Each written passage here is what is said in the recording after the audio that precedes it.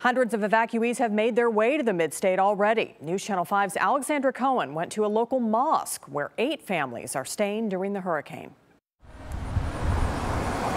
35 Hurricane Irma evacuees are staying at the Al Mahdi Islamic Center. Hearing people have been dead because of it, people have been drowning.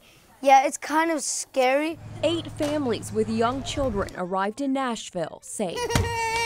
Was terrible for me when I drive 16 hours and I'm a woman uh, between the trucks. Two times the truck won't, you know, I want to inside the truck, but God help us. All of these children are sleeping in the mosque off Nolensville Pike. We put uh, blankets on the floor and, and we sleep here.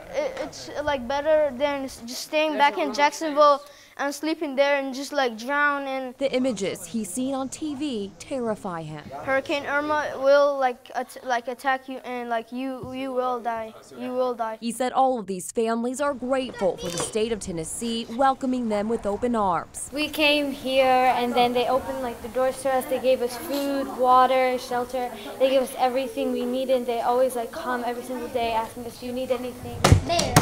But once I spoke to some of the mothers, I learned a couple of them are without vital necessities. Baby Rakaya is just 20 days old, and right now her family is trying to find her medical care. While the families left Florida with nothing but the clothes on their backs. They helped us so much. They tell me they will go home with full hearts. Right now, they're washing their clothes in the sink and then drying them out here on the rail. I'm told they also need a mechanic to look at this car before they head back to Florida. Reporting in Wedgewood, Houston, Alexandra Cohen, News Channel 5.